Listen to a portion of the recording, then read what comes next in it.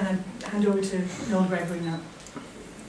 I want to thank you, Martin, for calling this press conference and all the attendees uh, from the Dáil. I won't um, name them all. Um, the oldest and the dirtiest trick in politics is the shifting of the goalposts to outflank your opponent.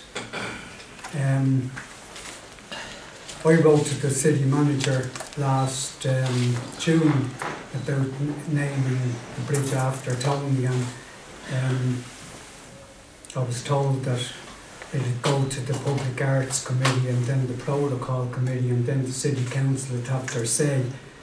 Um,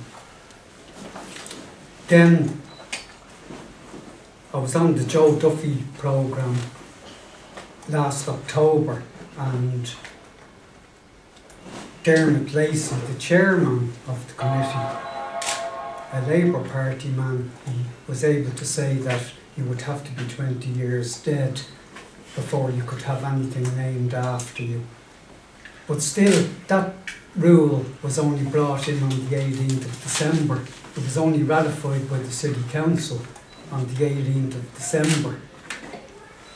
Um, Mary McAleese is going to have the new bridge over the Boyne named after that couldn't happen if if you had to be 20 years dead. So um, I thought that the naming of the bridge would be left to council officials and um, experts maybe. I know Tony hasn't got any divine right to get the bridge named after him, but it's a level playing field we want. Um, I am disappointed that the chairman of the committee is a, a politician who will just come along and say, Tony's not dead 20 years, end of story. Well, to circumvent that, um, I had to do a bit of shifting of the goalposts myself.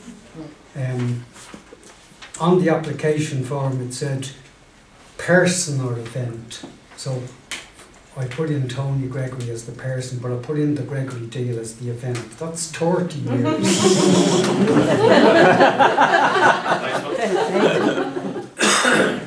I wasn't satisfied with that either, so I wrote the Irish Times and the Irish Independent, and I said, um, well, the Abbey Theatre has a legitimate stake in the naming of the bridge, so maybe we could name the bridge the Gregory Bridge, and that would commemorate Lady Augusta Gregory and Tony Gregory. And Lady Augusta Gregory, of course, is 20 years dead. So just call it the Gregory Bridge and com- commemorate both of them. Kill two, two birds with the one stone.